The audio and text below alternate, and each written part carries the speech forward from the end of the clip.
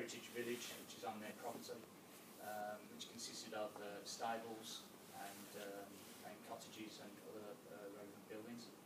And this was aimed at builders and professionals, uh, park rangers and craftspeople.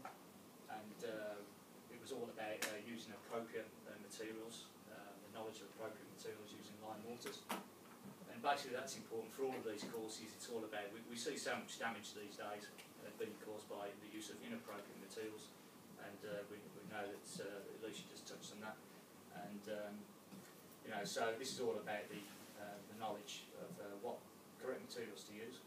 Uh, this was the, uh, the kiln, which was buried and they thought it was a pigsty at the Monarto Zoo until we covered the, the islets at the bottom there and, um, and then restored the, the kiln, not to its former glory obviously, but stabilised it.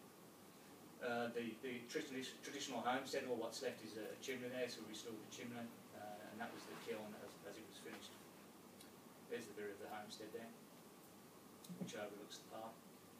This is uh, Binbury Cotton Co residence, um, an important building uh, which was on the, uh, the old track from Adelaide to Broken Hill.